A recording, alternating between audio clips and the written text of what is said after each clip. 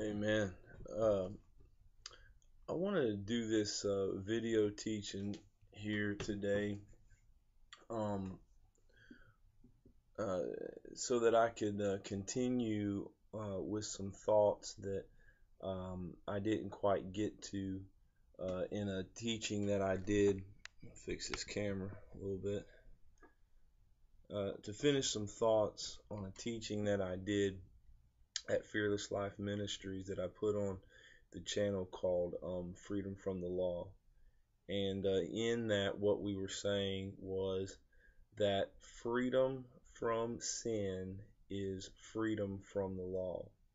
Um, the scripture says that uh, sin shall not have dominion over us, shall not lord over us, or have power over us, because we are not under the law but under grace. And what we were saying was that freedom from sin is freedom from the law. If you want to be freedom, or I'm sorry, if you want to be free from sin uh, in your thoughts, in your actions, um, if there are things that you're sitting there saying, man, I just, I know I need to stop doing this. This is not right, but I just can't stop. Um, part of that, part of the reason that we're being dominated by sin is because we're still um, putting ourselves under the law. If you want to come out of the domination of sin in your thoughts and in your actions, then there needs to be a total disconnection from the law. Now, what are we saying when we're saying um, there has to be a total disconnection from the law? Because, folks, this is it. Sin shall not have dominion over us. Not because we go to church a lot, not because we read the Bible a lot, not because we, uh, you know, uh, pray all the time, which that's all a part of this. Uh, we're not saying there's anything wrong with that. But what we have to understand is the scripture says that sin shall not have dominion over us because we're not under the law anymore. We're free from the law. So now, what does it mean to be free from the law, and what does it mean to totally disconnect from the law? Uh, well, we're free from the law in the sense that the law that was given by Moses that condemned us and judged us for our sins and uh, separated us from God and uh, release the curse of, of sickness, pain, disease, separation from God, and even eternal damnation in hell, that law has been fulfilled in, in Jesus Christ. The judgment of that law was poured out upon Jesus upon the cross. And so now we are not under the judgment of the law because Jesus was judged uh, in our place. The judgment, the wrath that the law um, pronounced on mankind was put on Jesus at the cross. And so now we are free from the law in that uh, through Jesus, it's as if we've already been judged by the law. And so now we're not obligated to the law. We're not bound by the law. We're not under the curse of the law. We're not uh, uh, um, uh, receiving the judgment of the law in this life or the life to come.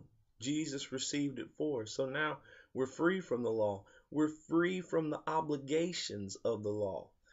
The the uh, not just the ceremonial law, but even the the Ten Commandments written on stone tablets, and and we'll we'll talk about that here in a moment.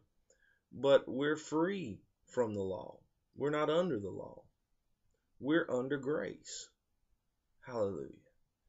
And so the so because we're not under the law, Romans 6:14, sin does no, not any longer have dominion over us. But here's the problem. We continue to put ourselves under the law by operating in a performance mentality or a works mentality. Uh, we're not under the law. Jesus fulfilled the judgment of the law. And now, uh, through our born again spirits, we've been made the righteousness of God, and we fulfill the righteousness of the law through our newly created born again spirits created unto good works Ephesians chapter 2 says. So so we're not under any obligation to the law any bondage to the law. We're free from the law. Uh, but the reason sin still has dominion over us in our lives many times is because we're under the law in our mentalities. We are walking with a law mentality or a, a performance mentality or a works mentality. We're, we're living under the mentality that I've got to perform well, that I've got to do good, that I've got to read enough, pray enough, give enough, pay my tithes, go to church, and if I'll do these things, God will accept me and God will use me and uh, and, and and if I sin or mess up, I need to hurry up and repent to get back into the favor of God. And all of that, folks, is a works mentality. It's a law mentality. And when you operate with a law mentality, it keeps you under the dominion of sin. Hallelujah. It keeps you under the dominion of sin. And what we need to begin to do is uh, we need to begin to abandon self effort. Completely abandon uh, self effort. And what do I mean by abandoning self effort? Well, let, let's let's define what we're saying when we say abandon self effort because uh, when you hear the message of grace and freedom from the law and freedom from works, then people's mindset many times automatically goes to, well, then what you're saying is I don't have to do nothing. I can just sit back and and listen to secular music and and and and watch uh, filth on television and just uh, you know feed my flesh and everything's going to be all right. That's not what we're saying, and I don't think there's a grace teacher that is saying that. Uh, when we're saying abandon self effort, we're saying abandon the effort to make yourself right before God. Abandon the effort to make God love you, to make God move in your life. Abandon the effort to get God to heal you. That's what we're saying. We're not saying just sit back and do nothing. Uh, we're we're saying abandon the mentality uh, that I've got to put all this effort into uh, my relationship with God to get God to love me. No. You here's here's what you need to understand. You need to understand that no matter what you do, God loves you. There's nothing you can do to make God love you any more than he loves you, to make yourself any more righteous than you already are through your faith in Jesus Christ. And you need to abandon that effort and rest from your works. Cease from your own works. Because there's nothing left for you to do to get God to love you any more than what He already loves you. But this thing still involves effort, but not an effort motivated by a desire uh, or desperation to get God to love you or get God to accept you or get God to use you. But there needs to be an effort that's motivated by a love for God that is a result of your revelation of His love for you. See, everything I do, praise, worship, read my Bible, go to church, doesn't need to be motivated by a fear that God's going to reject me. Perfect love, 1 John 4 um, 18, I think, uh, somewhere around in there. Perfect love casteth out all fear. Fear uh, has torment. Those that have not been made perfect in love, uh, fear, and I, and I didn't quote that exactly right, but uh, there is no love. Perfect love casteth out fear. There is no fear in love. When you begin to understand the love of God uh, and how He loves you unconditionally through the blood of Jesus, through what Jesus did at the cross, uh, it drives out any fear, any fear of punishment, any fear of God rejecting you. Hallelujah. And so now uh, we don't put effort forth motivated by fear to get God to accept us. Our effort is motivated by the love of God. My praise and my worship is, not uh, effort put forth motivated by a desire uh, to keep God in my life or to have God be pleased with me. It's motivated out of a love for Him that is a result of understanding his love for me. Hallelujah. So, we're not saying abandon self effort in regards to, you know, grace doesn't mean to sit down and do nothing.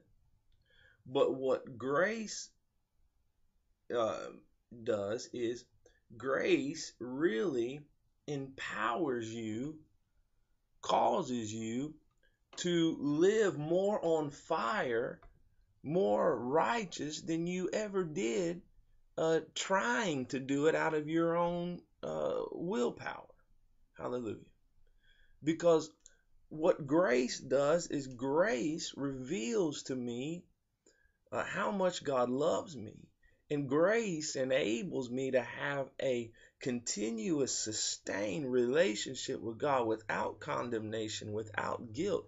And that relationship drives me uh, uh, to worship God, drives me to seek Him, drives me to go to church, drives me to read my Bible.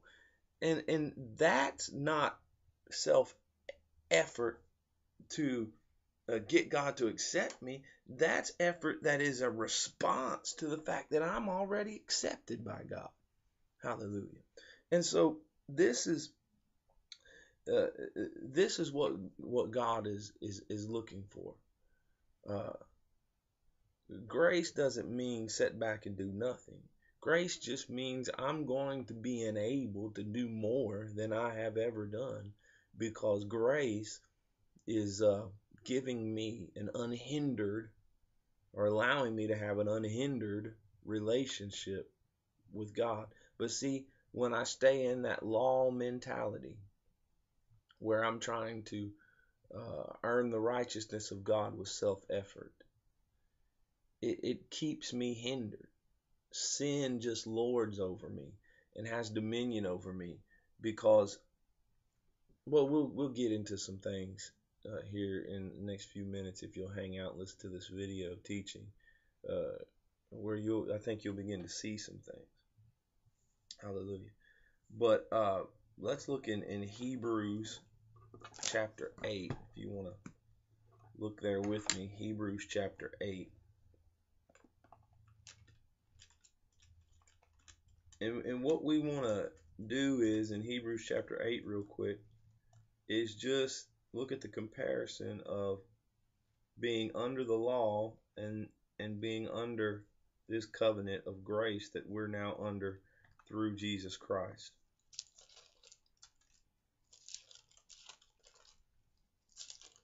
So we're, we're going to look here in Hebrews chapter 8.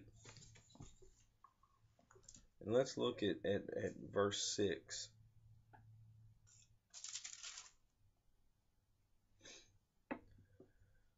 Let's see, it says, But now hath he, talking about Jesus, obtained a more excellent ministry, by how much also he is the mediator of a better covenant, which was established upon better promises.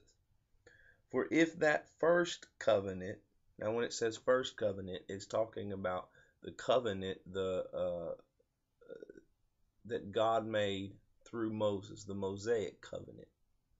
That's what we'll call it. If that first covenant, that covenant that came through Moses, uh, which was the law, had been faultless, then should no place have been sought for the second.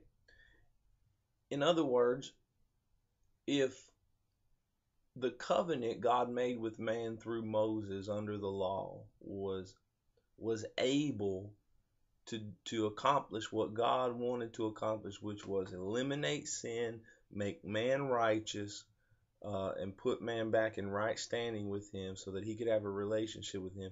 If it could have done that, then there would have been no uh, reason to establish a second covenant through Jesus Christ. Jesus wouldn't have even had to come. But the law could not make men uh, righteous in that and I think the scripture says it was weak through the flesh. In other words, the way the law worked to make men righteous was through the self effort of the flesh. In other words, in order to be righteous under the law, you had to do it through works. You had to obey rules and regulations through the power of the flesh. But the flesh is weak. The flesh is unable to live up and line up to uh, the standard of God's law. Hallelujah. I believe um, Romans chapter 8 says that the flesh cannot be submitted to the law. The flesh is not cannot submit to the law of God. It's innate, it's incapable of submitting to the to the law of God. And so the law wasn't going to work. It it there was fault with it because it worked through the flesh. The law put pressure on the flesh to live right, and the flesh could not handle it. So a second uh, covenant was sought after, which was this covenant of grace. And it begins to talk about that here.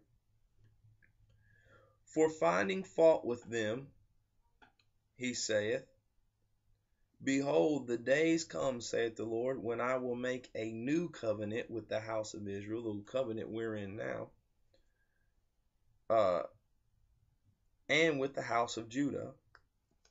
And he says, This covenant verse 9 this covenant, this new covenant that he has made with us through Jesus, is not according to the covenant that I made with their fathers in the day when I took them by the hand to lead them out of the land of Egypt, because they continued not in my covenant, and I regarded them not, saith the Lord. So he says, This covenant under Jesus, uh, this covenant of grace, is not according to, it's not like the covenant he made uh, with the forefathers when he took them by the hand and led them out of Egypt. So, what covenant is he talking about? He's talking about the Mosaic covenant, the covenant under the law.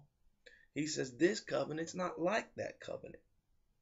Because under that covenant, under the law, they continued not in my covenant, and I regarded them not, saith the Lord. And so, uh, what he's saying here is that under the law, they did not keep my commandments, and so I disregarded them. Uh, the Amplified says uh, that verse 9, the Amplified version of verse 9 says, it will not be like the covenant I made with their forefathers on the day when I grasped them by the hand to help and relieve them and lead uh, out of the land of Egypt, for they did not abide in my agreement with them. So I withdrew my favor and disregarded them. And so, under the law, this is this is how it worked.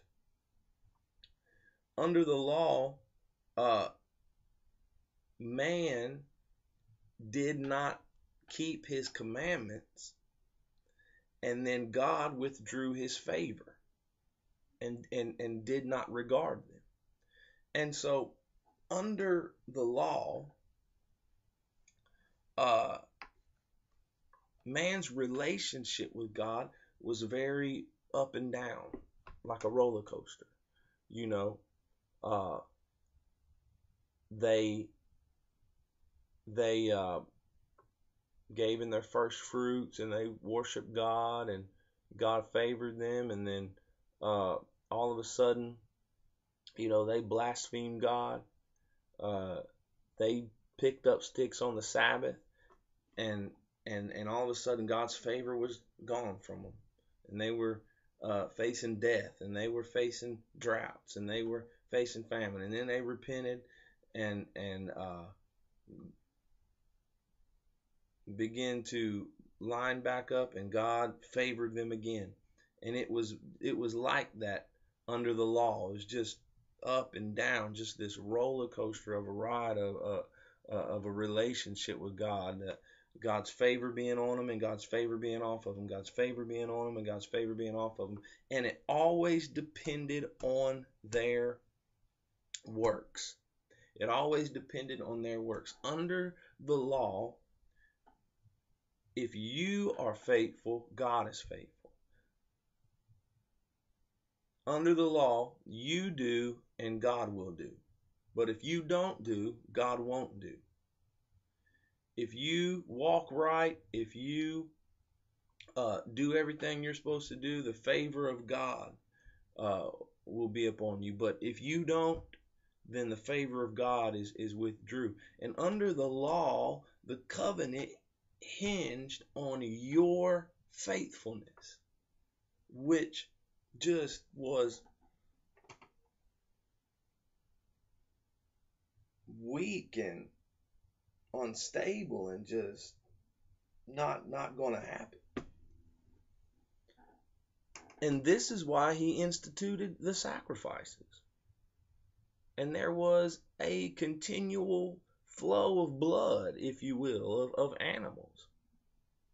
Because man could not keep the law. Man failed in every point of the law.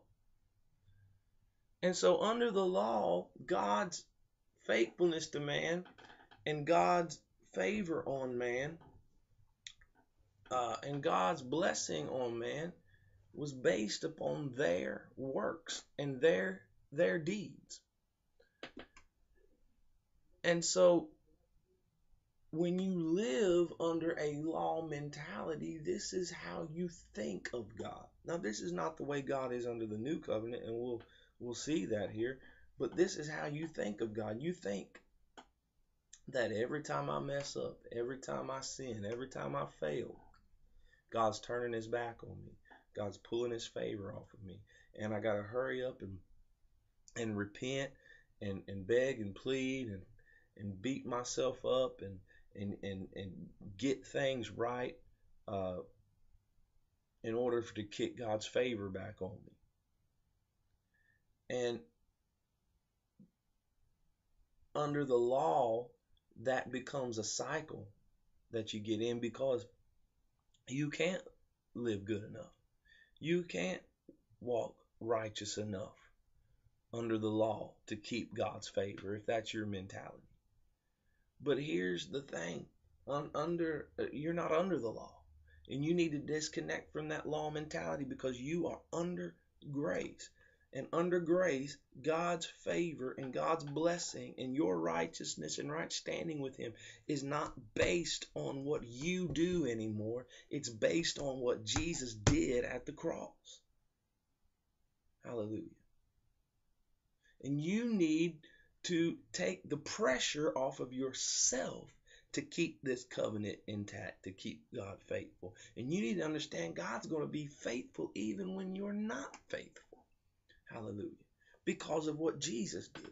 And you need to quit putting your uh, faith in your flesh to live right, to make God uh, love me and accept me, and put your faith in the blood of Jesus and know that because of the blood alone, God's going to be faithful to me and God's going to love me. Look at this. For this, verse 10, for this is the covenant that I'm going to make with the house of Israel after those days, saith the Lord. I'm going to put my laws into their mind and write them in their hearts, and I'll be to them a God, and they shall be to me a people. And what he's saying here is under this new covenant, I'm not going to write laws upon stone tablets and and and make them written rules and regulations for you to look at and follow through the effort of your flesh. But actually i'm going to put these laws uh, my ways and, and my righteous standard in your hearts and in your minds. And so you're not going to be living out of the effort of your flesh through rules and regulations, uh, or let me say it this way you're not going to be living uh, out of the effort of your flesh trying to obey rules and regulations to be righteous. The Lord says, I will supernaturally put my righteous standard in you and you will be made righteous. You'll think righteous. You'll desire righteousness. You'll want righteousness. Hallelujah. And that's what he's done through the new creation, the new birth. They that are in Christ are new creatures. Old things have passed away. Behold, all things have become new. We now have the Holy Spirit living on the inside of us and the nature of Jesus on the inside of us. And so now we don't need laws to tell us how to live. We uh, have got the nature of Jesus, and we've got the Holy Spirit on the inside of us to guide us and, and teach us how to live. Hallelujah. And the Holy Spirit on the inside of you begins to lead you and guide you into righteousness and you begin to desire right things and you begin to think right thoughts. Hallelujah. And that's Jesus living this life through you. And that's how we live under this uh, new covenant. Hallelujah. And it says in verse 11, uh, under this new covenant, they shall not teach every man his neighbor and every man his brother, saying, Know the Lord, for all shall know me from the least to the greatest. Under the law, uh, every generation had to teach the next generation about God. But he says that's not necessarily going to be uh, necessary under the new covenant because under the new covenant, I'll be able to have a personal relationship with every individual believer and I'll be able to reveal myself to them myself. Hallelujah. And then he says in verse 12, For I will be merciful to their unrighteousness, and their sins and their iniquities will I remember no more. Listen, under this new covenant, God is merciful to our unrighteousness. Under the law, uh, there was no mercy for our unrighteousness. There was judgment for our sin. But under the new covenant, he is merciful to our unrighteousness. Under the law, he was faithful if we were faithful. But under the new covenant, he's faithful even if we're not faithful. Hallelujah. That's powerful. That's powerful. And so uh,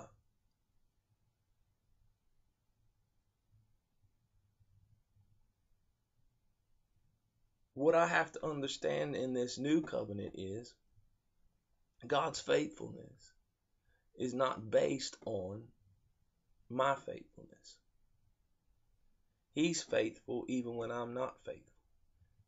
He's favoring me, hallelujah, and with me even when I'm not faithful to Him and I'm not favoring Him and I'm not, you know, doing what I need to do. He's there. Now, why is that powerful? And and and and how does that help us come out from under the dominion of sin when, when we begin to understand that? Well, here's the thing about grace. And I think I said it earlier, but I'm going to reiterate it. Grace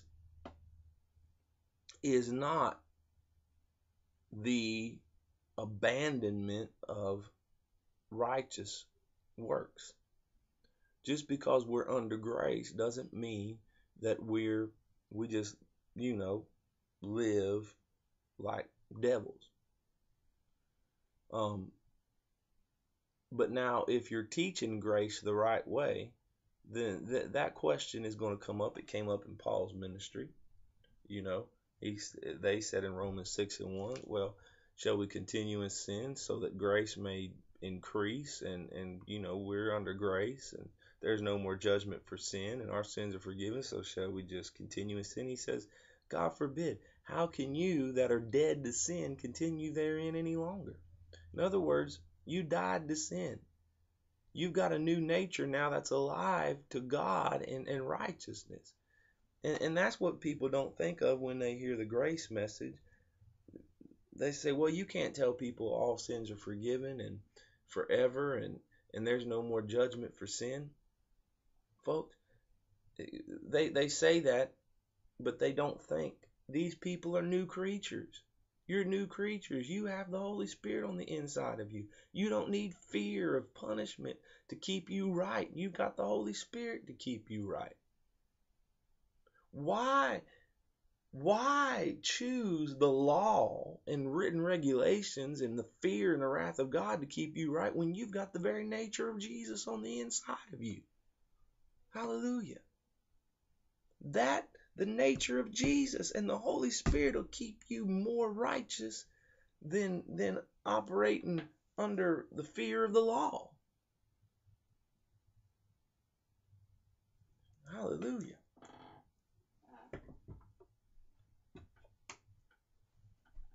because well, when and I don't want to get off point here, but when I am walking under the leading of the Holy Spirit, hallelujah, there are things the Holy Spirit will tell me to do that, that I don't find in the law.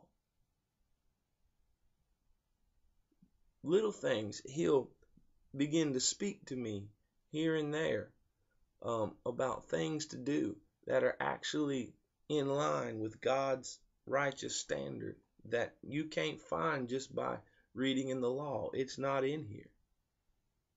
But it lines up with God's ways, and the Holy Spirit will prompt me on those things. Uh, that's why he says he'll ride them on our hearts and put his laws into our minds.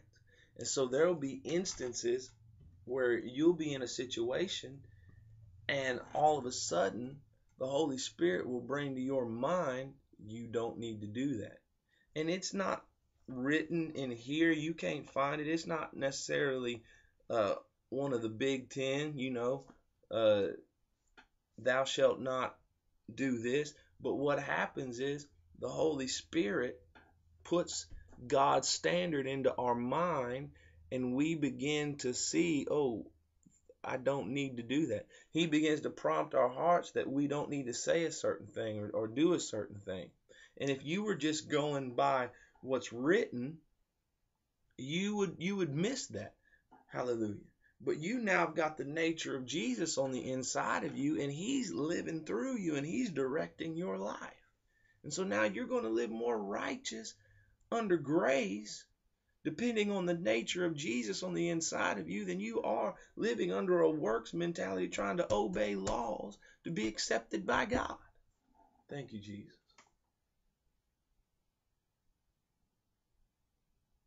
So now, here's the thing about grace grace is not the abandonment of righteousness. Grace really empowers us to live right.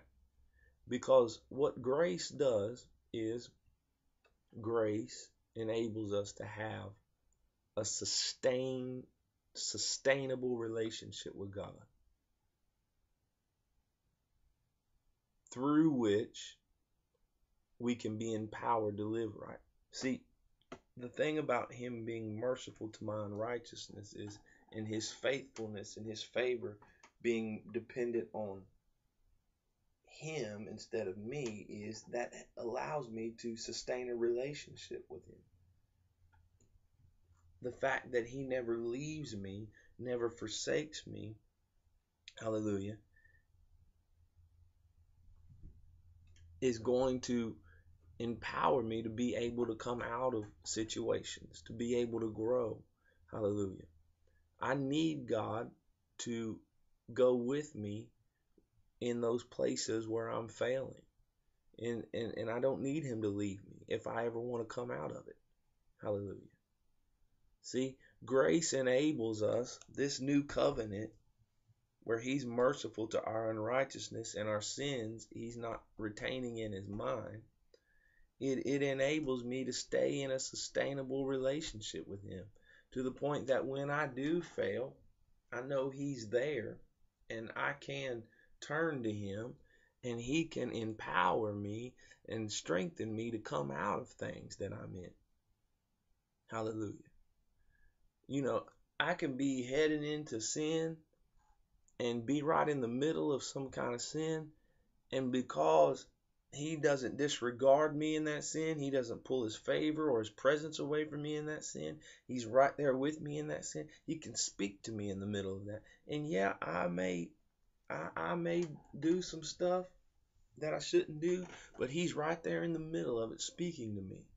Not condemning me, but convicting me. And there's a difference between being convicted by the Holy Spirit and being condemned because the Holy Spirit does not condemn, it convicts.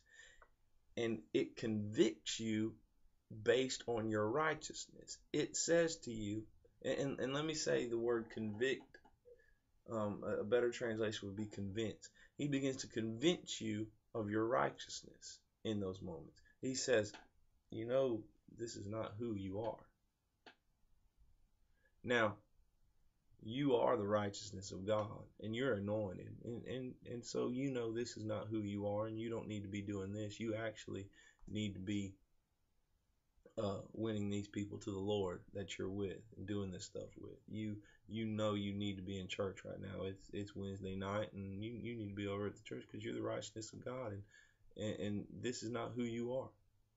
And so he begins to convince you of your righteousness, which in turn begins to cause you to see that man I shouldn't be doing this. And it begins to pull you and push you out of out of those things. Now, condemnation, on the other hand, comes from Satan and comes from your own heart. And, and condemnation doesn't deal with your righteousness. It doesn't convince you that you're of your righteousness. It convinces you of your unrighteousness.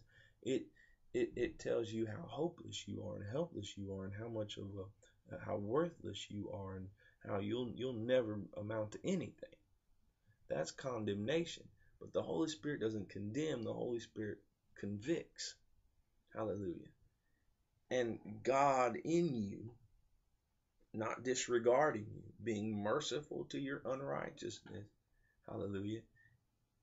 And grace enabling you to have this relationship with God that's sustainable is what's going to cause you to conquer sin in your thoughts and your actions and in your life and cause you to live more holy every day. See, grace doesn't uh, grace doesn't eliminate righteousness in your life. Grace actually empowers you to live righteous because grace enables you to have a relationship with God that's sustainable even in your mistakes that will cause you to walk in righteousness that will empower you hallelujah to to live right and to come out of things. Thank you jesus. But if you're under a law mentality hallelujah you will you will not hear the voice of the lord that's in you. If you're under a law mentality when you mess up when you make mistakes your mind thinks well god's left me. He doesn't love me. He's upset at me. So i can't turn to him. There's no way he would talk to me. Hallelujah and so in that with that mindset that law mentality mindset you're automatically putting yourself on your on your own saying well god's not with me. He's not accepting me right now. So so i've got to come out of this on my own. And then many times you can't because your flesh is weak and you stay dominated by sin. Hallelujah or if you do come out through willpower and start living right, you eventually are going to fail again and be right back in the same cycle. And you'll get into that cycle enough to where you will say, Forget it, I'm done, I can't live it, I'm not going back to church. And then you just run right on into sin, and sin stays Lord over your life because you're under a law mentality. Thank you, Jesus. But when you break that law mentality, and you understand grace, and you understand God is going to love me no matter what I do, that His love for me, His presence in my life, my relationship's not based on anything I do. Hallelujah. But it's based on the blood of Jesus. Then you're going to be able to have a sustainable relationship. And through that relationship, He's going to empower you to come out, empower you to be free. Oh, thank you, Jesus. Hallelujah.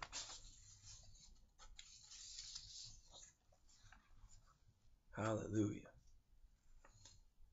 Let's let's look at one other scripture here before we end this video teaching. Romans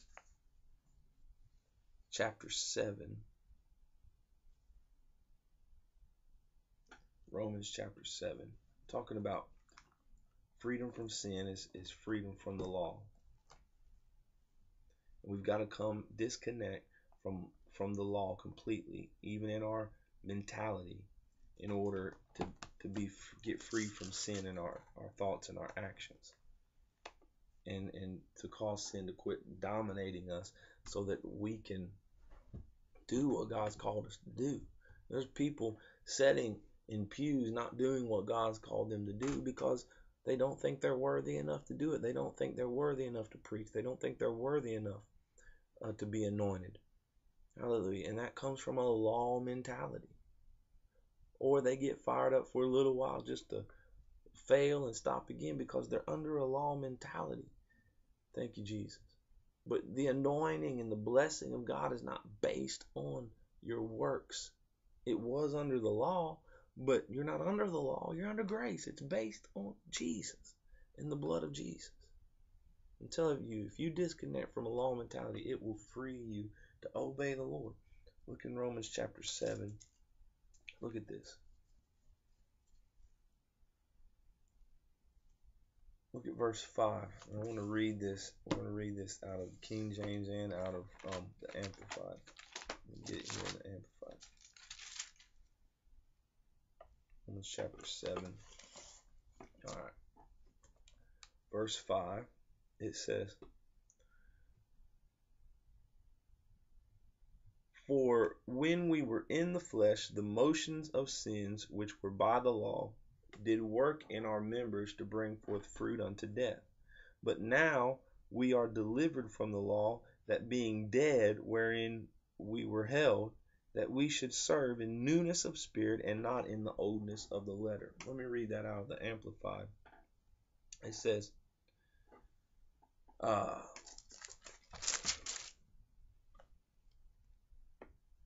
when we were living in the flesh, mere physical lives, the sinful passions that were awakened and aroused up by what the law makes sin were constantly operating in our natural powers, in our bodily organs, in the sensitive appetites and wills of the flesh, so that we bore fruit for death. But now we are discharged from the law and have terminated all intercourse with it, having died to what once restrained and held us captive. So now we serve not under obedience to the old code of written regulations, but under obedience to the promptings of the Spirit in newness of life. In other words, what this was saying is that all the law ever did,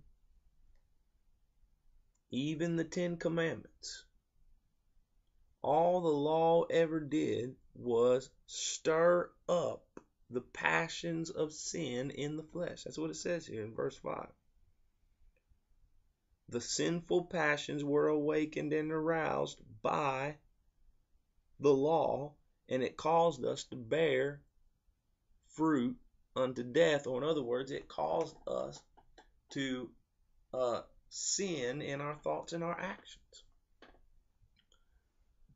Folks, the law, and when we preach the law and live under the law, all the law does is stir up the sinful passions on the inside of us. Hallelujah. See, people think, it, you know, I'll get rid of sin by preaching on sin.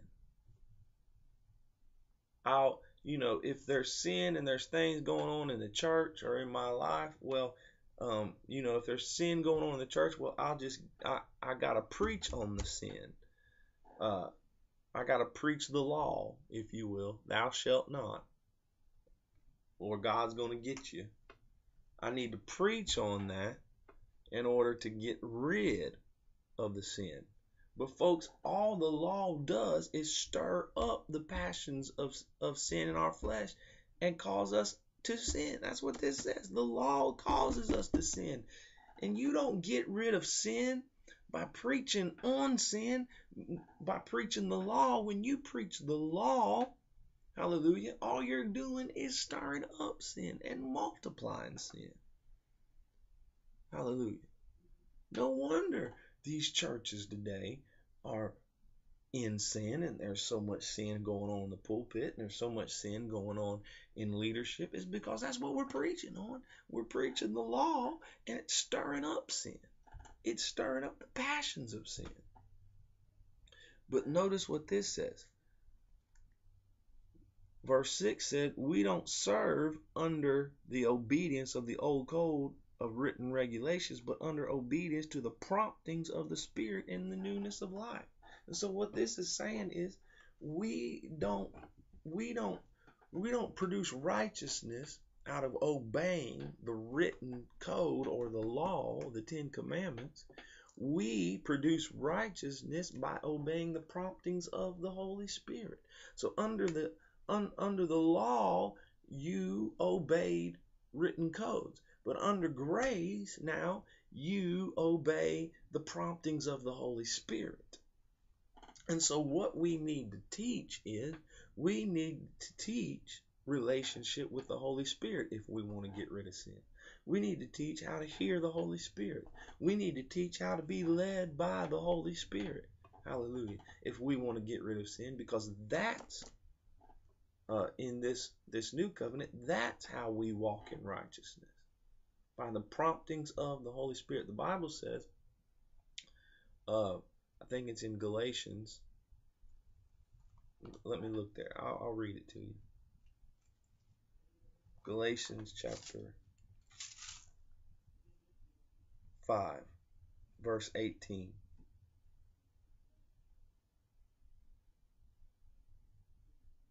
But if ye be led of the Spirit, you are not under the law.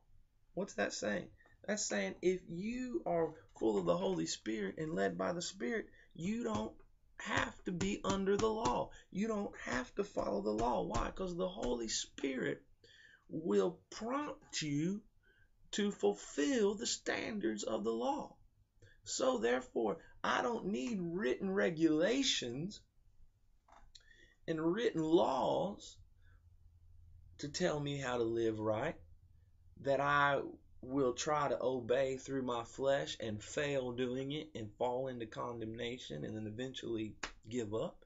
I've got the Holy Spirit in me, and the Holy Spirit will lead me to live right. He'll prompt me to walk in righteousness. He'll prompt me to love. He'll prompt me to forgive. He'll prompt me uh, to to put other people before me.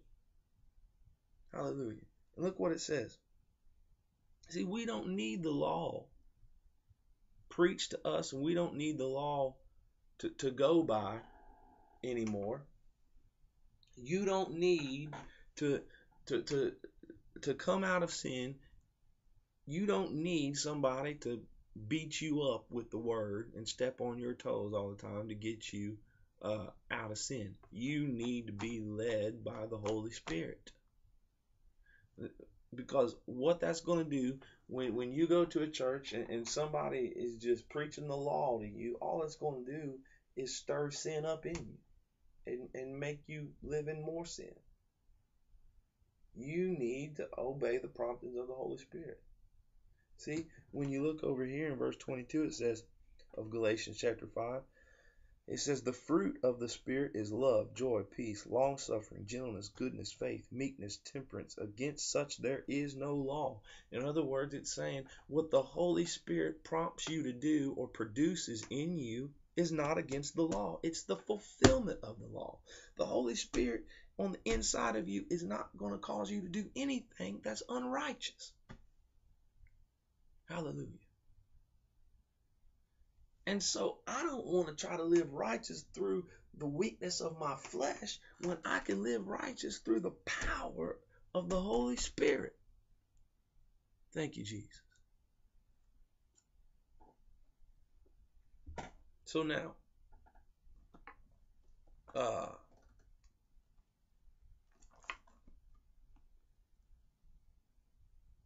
look, look in Romans chapter 8, verse 4. It says, That the righteousness of the law might be fulfilled in us who walk not after the flesh, but after the Spirit. When you follow the leadings of the Holy Spirit, the promptings of the Holy Spirit, it will cause you to fulfill the righteousness of the law. So you are not under the law. Come out from under the law. Come out from under a works mentality. Come out from under a performance mentality. God is going to love you no matter what you do. Hallelujah.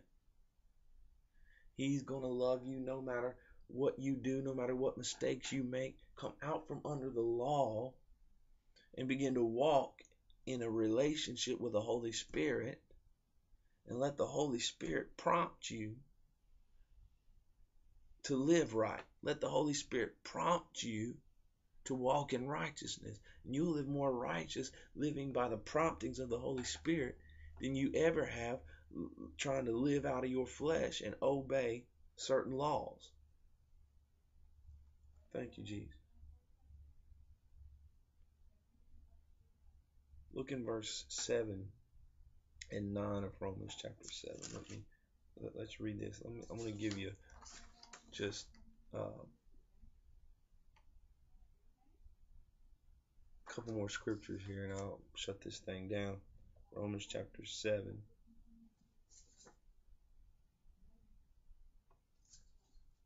Look at, look at verse 7. What shall we say then?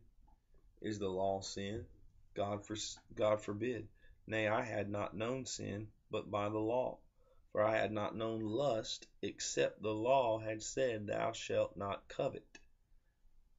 But sin, taking occasion by the commandment, wrought in me all manner of uh, concupiscence. And I know I didn't say that word right. For without the law, sin was dead.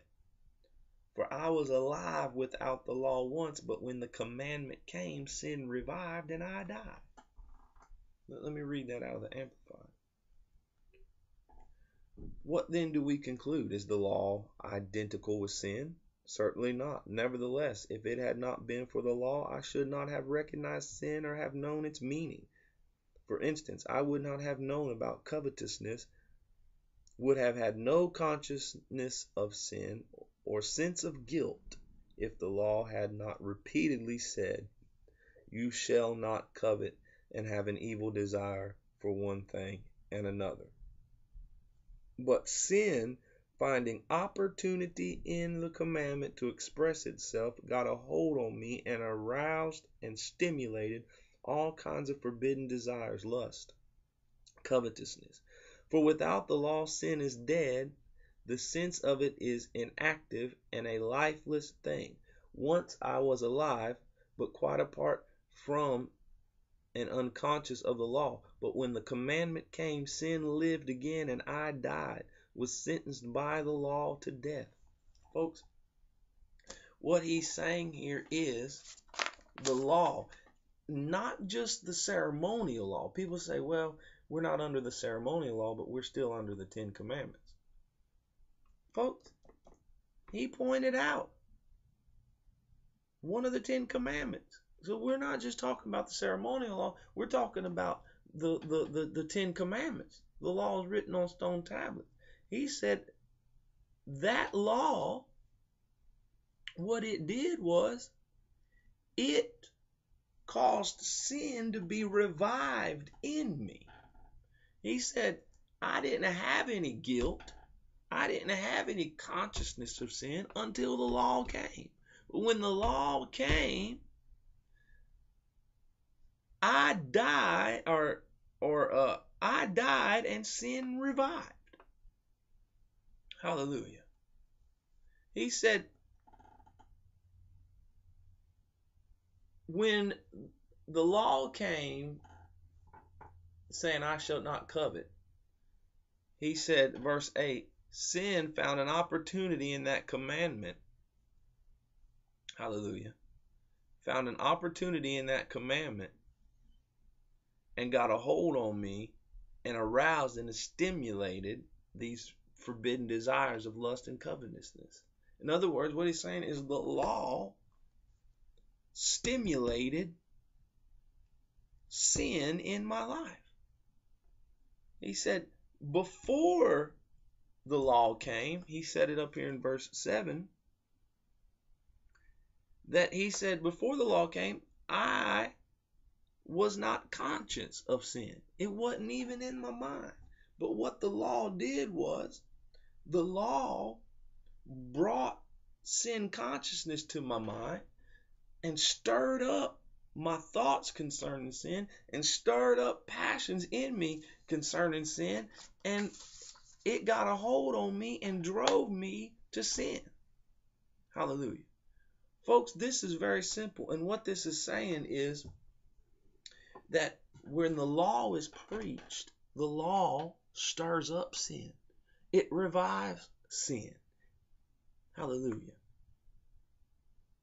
If we want to stop sin or limit sin in our lives and in the church, we've got to come out from under the law. The law stimulates sin in us. Hallelujah. Look at uh, verse 10, and we'll just read this out of the Amplified. It says, And the very legal ordinance which was designed and intended to bring life actually proved to mean to me death. For sin, seizing the opportunity and getting a hold on me by taking its incentive from the commandment, beguiled and entrapped and cheated me, and using it as a weapon, killed me. The law, therefore, is holy, and each commandment is holy and just and good. Did that which is good then prove fatal, bringing death to me? Certainly not. It was sin, working death in me by using this good thing as a weapon, in order that through the commandment sin might be shown up clearly to be sin, that the extreme malignity and immeasurable sinfulness of sin might plainly appear. This said in verse 11, Sin took occasion by the commandment and slew me. The word occasion in the Greek means a place from which an attack is made. the law gives sin a place to attack my life from. Sin, the, the law is not bad. The law is good. The law is it, reveals to us God's standard of righteousness. There's nothing wrong with the law, but what happens is sin will use the law as a platform to dominate and attack our lives from. In other words, if if I recognize, uh, maybe as a pastor, that there is a, a spirit of pornography working in the church, or a perverted spirit of lust, sexual lust and immorality in the church, and let's say I preach on pornography and I preach on sex and how it's bad and it's wrong and God hates it and da da da. Because God does hate sin. Let's not say I'm not saying God loves sin or anything like that. He hates sin, he detests sin. But if I, I preach the law and preach from a law mentality, all I'm going to do when I begin to preach on sex and preach on immorality and preach on pornography, I'm going to stir up the passion and the desire to do it. Uh, Paul said, I didn't have no consciousness, I didn't have no guilt. It wasn't a thought in my mind until the law came. And when the law came, it stirred it up in my mind, it stirred it up in, in my life, and it woke up these passions in me. The law wakes up these things in us. Hallelujah. And so if if I want to limit the sin, I don't need to preach on it.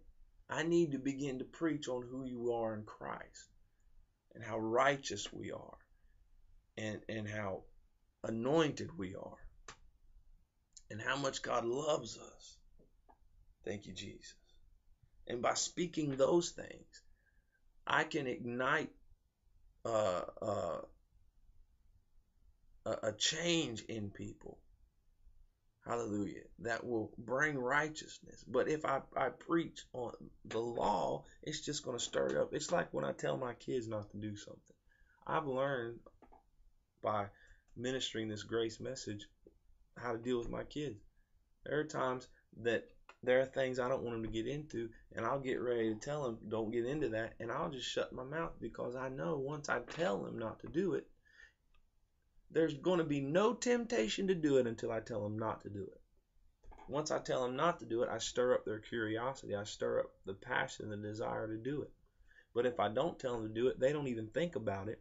And listen, you can't be tempted with what you don't think about. And what the law does is the law stirs it up in your thoughts and stirs it up in your mind. Hallelujah. You know, I would maybe wasn't even thinking about pornography. I wasn't even thinking about uh, lust or women. But the preacher begins to preach on it, and now all of a sudden these pornographic thoughts and these images of women start coming up into my mind. That now I have to go out of that service and fight. Right? Or if if I've been dealing with it, I got to go out of there condemned and guilty Hallelujah. And maybe not even repentant. Maybe just feeling like, well, what's the use? And then going right back into it. But nonetheless, sin will take an opportunity. The law gives sin an opportunity to overpower our lives. Uh, verse 13 said that sin uses the law like a weapon to slay me. Man, when you preach law, what you're doing is you're putting a weapon into the hand of sin. We still have sinful passions and sinful nature in our soul and in our flesh. Our spirit's been redeemed and sealed by the Holy Spirit. That's something I teach.